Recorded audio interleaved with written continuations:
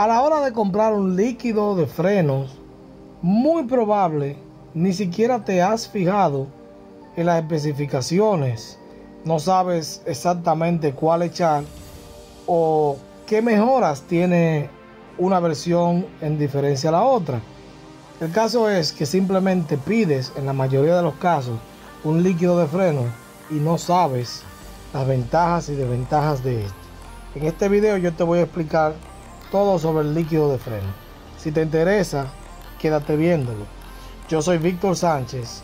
Esto es Infovehículos RD.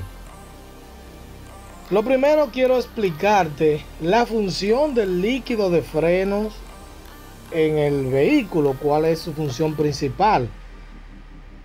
Vamos a llamar lo que es la sangre, así como el cuerpo necesita la sangre el sistema de frenos necesita del líquido para tener efectividad.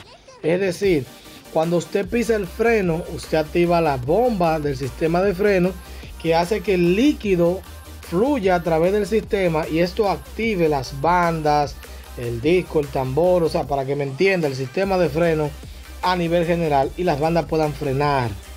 Entonces, cuando usted pisa el freno, usted lo que está haciendo es enviando líquido de freno a cada goma, a cada lugar del disco para que haya una frenada. Esa es la función del líquido de freno. Por eso es que si usted no tiene líquido de freno suficiente o tiene la bomba de freno dañado, su vehículo no va a frenar correctamente o no va a frenar en lo absoluto. Entonces ya conociendo la función del líquido de freno nos damos cuenta que es bastante importante. El líquido de frenos, aunque es olvidado por muchos, debe de cambiarse alrededor de cada dos años. Esto es una recomendación. Cada dos años usted va a un centro de servicio de frenos, es lo más recomendable, y hace el cambio. ¿Por qué un centro de servicio y usted no lo puede hacer? Porque debe de sangrar el sistema para evitar que tenga aire, evitar que tenga humedad y eso le dé una mejor frenada y evite tener peligros. Entonces, le recomendamos que esto lo haga en un centro de servicio de freno o un mecánico que lo conozca usted.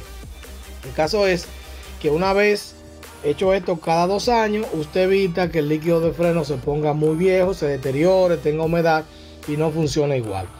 Ahora vamos a ver la diferencia, porque existen DOT 3, DOT 4, DOT 5 y DOT 5.1 que también le llaman 4 Plus o 4 Super, 4, 4 Extra, de cualquier forma de esa lo podrá ver.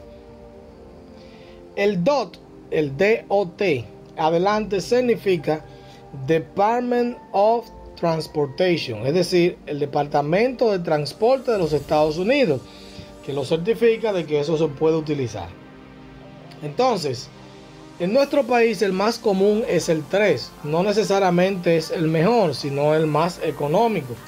El 4 viene siendo una versión mejorada del 3 con una mejor, una, vamos a decir, una fórmula más avanzada para soportar lo que es la humedad y para soportar el tema del el calentamiento, de que tiene una temperatura de ebullición mayor. El 3 es el más básico de todos el 3 y el 4 se pueden mezclar sin ningún problema. Ahora viene el 5, que es muy poco utilizado, casi no se recomienda por fabricante. Normalmente lo utilizan vehículos que tienen poco movimiento. Y el 5, eh, su base es de silicona, es decir, que es una base sintética. Por eso no debe bajo ninguna circunstancia mezclarse con el 3 o el 4 porque son bases diferentes y entonces no tendrá un efecto. Esto es lo que podrá traer consecuencias negativas.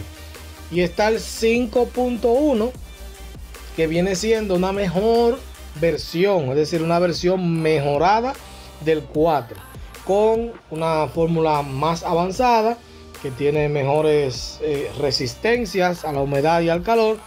Y este sí puede mezclarse con el 3 y el 4 no confundir, no dejemos que nos confundan con el 5 y el 5.1, que también como dije es llamado 4 Plus, 4 eh, extra, cualquier nombre de eso que usted vea, o 5.1. Es decir, el 5 no se debe mezclar con ninguno. El 3, 4 y 5.1 puede pueden mezclarse entre ellos porque tienen la misma base, el mismo componente químico. Entonces, sabiendo esto, para la próxima, en nuestro país es difícil encontrar el 5.1. Quizás tiene un precio más alto que los demás, pero el 3 y el 4 son más comunes.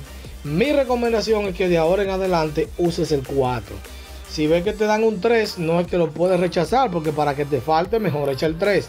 Pero la recomendación es para los vehículos que ya son los normales del dominicano, vehículos de por lo menos del 90, 95 en adelante, lo recomendable sería usar el DOT 4.